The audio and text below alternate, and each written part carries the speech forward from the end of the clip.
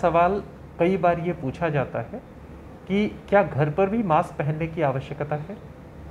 तो अगर देखा जाए तो घर के अंदर मास्क पहनने की आवश्यकता रूटीनली नहीं है। अगर आपके घर में कोई मरीज़ कोविड का आइसोलेशन में है होम आइसोलेशन में जो एक रूम में है तो हाँ उसके आसपास जाते समय मास्क पहनने की ज़रूर आवश्यकता होती है। अदरवाइज़ रूटीनली हमें घर में मास्क पहनने की आवश्यकता नहीं है अगर सारे फैमिली मेंबर स्वस्थ हैं। धन्यवाद।